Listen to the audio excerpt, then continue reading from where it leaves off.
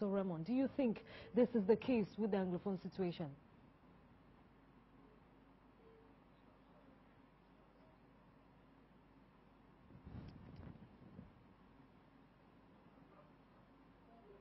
Um, look back a little bit at what um, some panelists and other Cameroonian people have been saying. Um, I ask myself, secession? Is this um, secession? We cannot talk about secession when the two peoples have never been together before. What we have right now is only a de facto arrangement. What in Pidgin we call come we stay, Jumba marriage. Like I said, there is no treaty of union between the Southern Cameroons and La République du Cameroun as United Nations Charter Article 102 and 103 so provides. So I think that point on secession is clear.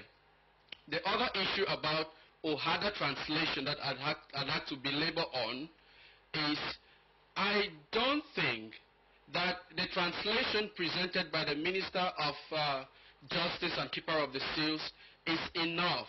No.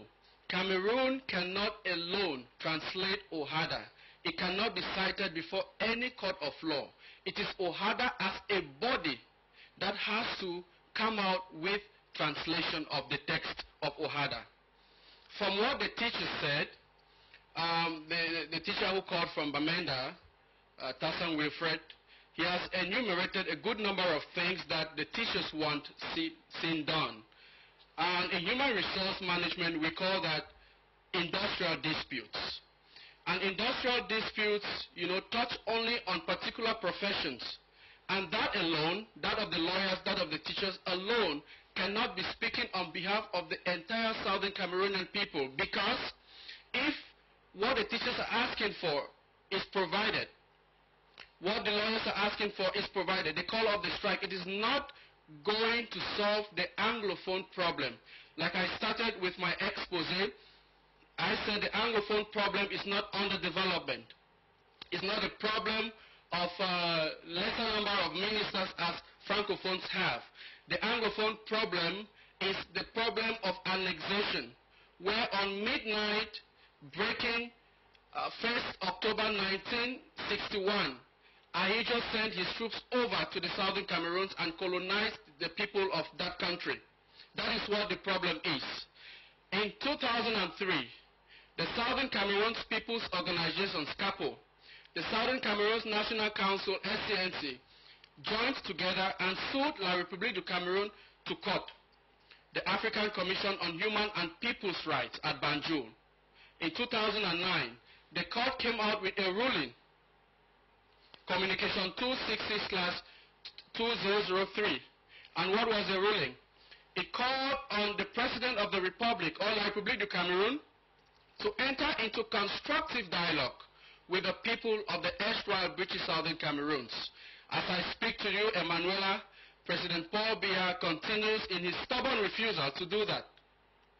And that is why all what we are saying here and calling it an Anglophone problem about underdevelopment, blah, blah, blah, that is not the, that, that is not a real issue. Those are only salts that add to the injury. And the injury is the issue of annexation. Like I said, you, may, you might have misunderstood me when I talked of dialogue. Dialogue means that we go to the round table and discuss whether we want a federation or not or independence.